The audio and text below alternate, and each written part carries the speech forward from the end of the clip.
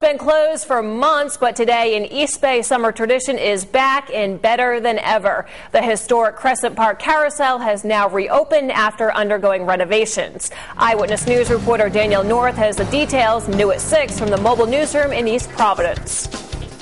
The parents and grandparents who came here years ago all have the same feeling when they walk over the threshold. It's like walking back in time. And after months of waiting, the crowds are back at Crescent Park trying to capture that feeling again. The carousel was closed last year so workers could rebuild the main drive gears inside.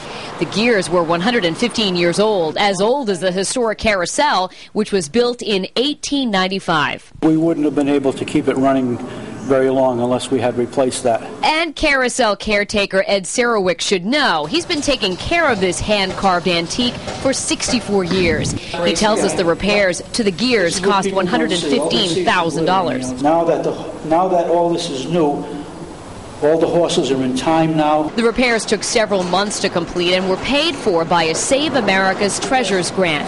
It's clear this local treasure can still draw quite the crowd.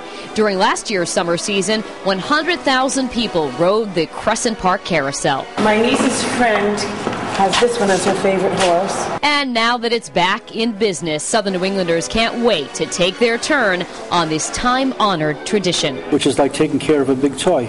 Now, the National Park Service has designated Crescent Park as a National Historic Landmark. The carousel will remain open through Columbus Day. I'm Danielle North, Eyewitness News.